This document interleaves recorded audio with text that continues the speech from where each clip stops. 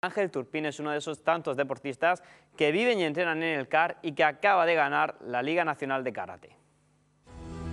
Yo más como un deporte yo lo veo ya como una parte, una parte de mí que sin ella pues no podría, no, no, podría vivir bien. He tenido que sacrificar muchos amigos, quedadas con mis amigos y tal. Ahora mismo, como estoy interno en el CAR, también he tenido que sacrificar ver a, poder ver a mis padres. Mucha gente piensa que a lo mejor es de pegarse puñetazos, agresividad por todos lados y ya está. Te enseñan muchísimos valores, la disciplina, la constancia, todo eso, aparte de, eh, de ayudarte en tu deporte, te ayuda mucho a nivel personal. Íbamos estrenando categoría Teníamos esperanzas de pasar una o dos, tres rondas, pero tampoco pensábamos que íbamos a llegar a la final ni ganarla. Fue flipante, yo salí del combate después de ganar la final, que aún no, no me creía que la había ganado. Y lo primero que se me pasó fue eh, abrazar a mi padre que estaba allá al lado del tatami. Se siente como algo que irreal, como que dices tú, aún te sigues pensando, digo, ¿eso pasó de verdad o fue un sueño que tuve yo?